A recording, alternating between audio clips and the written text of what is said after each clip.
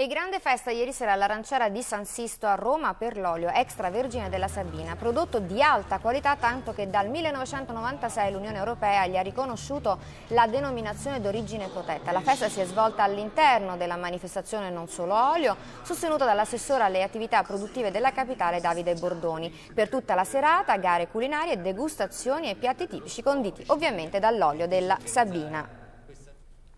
Ed ora il